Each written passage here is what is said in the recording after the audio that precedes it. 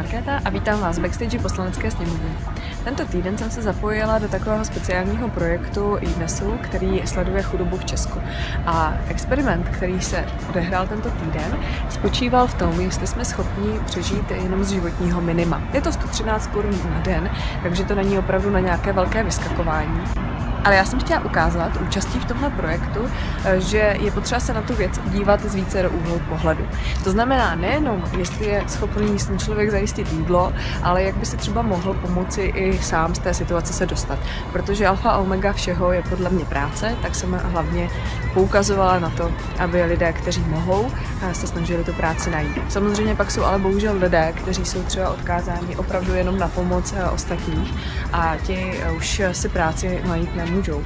No a i na ně, ale nejenom na ně, se zaměřuje celá řada projektů a celá řada charitativních uh, věcí, uh, které jsem taky se snažila přiblížit.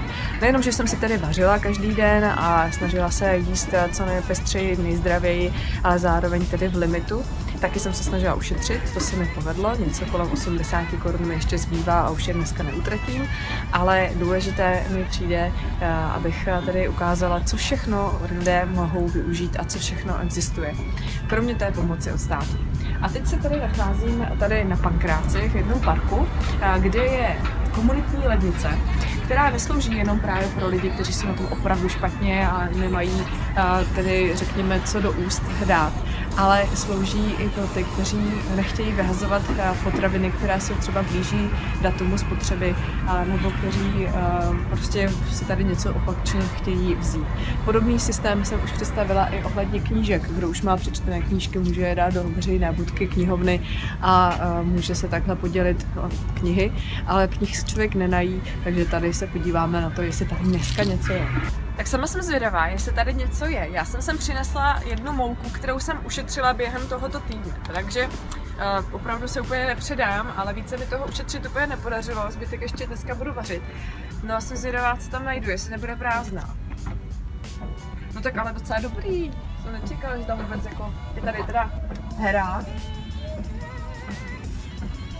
a nějaká i svíčková na smetaně. Tak já přidávám mouku, kdyby někdo chtěl si uvařit něco s moukou. No, tak fajn.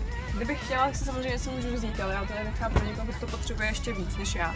No a když teďka třeba někdy budu mít něco, co se bude blížit spotřebě a nebudu to chtít vyhodit, protože samozřejmě plýtvání potravinama, to se mi taky nelíbí, tak eh, vím, že to můžu donést třeba sem a někdo jiný to může použít.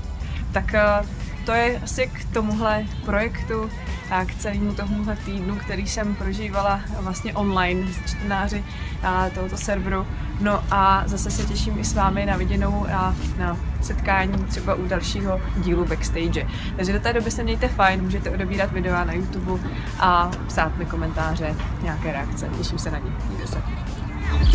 my feelings.